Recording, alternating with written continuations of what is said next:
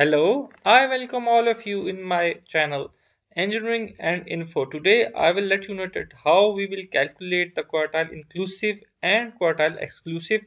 What is the difference between quartile inclusive and quartile exclusive? First of all, I will let you know that the, there are three basically functions quartile. Then I will verify whether the first that whether the formula of the quartile and the first quartile is same or not. So I will write again quartile dot inc I will select the array. Array means the data and then I press the comma. Then again I will have to select the first quartile. Uh, find the first quartile. So I will select 1. Then bracket close. Look at this. We got the same values. Same is the case. I will do it uh, for Q2 or Q quartile number 2 is the median. So I will select the data. I will press the 2 that I need uh, median. So look at this and then I will find again the median using the quartile inclusive command. And it will be result same and it will result in 52 look at this. We got 52 then I will find the quartile number 3 using the quartile command. So uh, for the quartile command I will select the data then press. The 3 means the third quartile so enter 55 here it will also become as 55. Look at this. I select the data, then press the third quartile. We got 55. Then how we will find the interquartile? The interquartile will be found out as it is written that we will have to subtract the third uh, first quartile from the third, uh, third quartile. So I will select first the third quartile minus first quartile.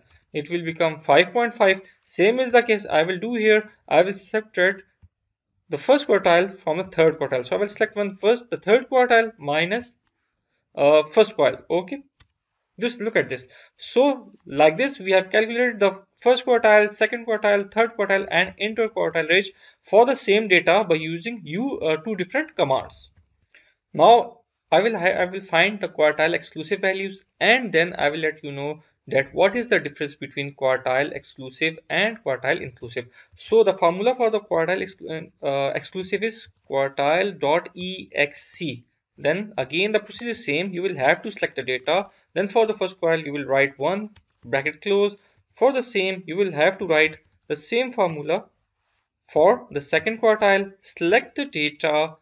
Press the 2 for the second quartile. Second quartile is over median also.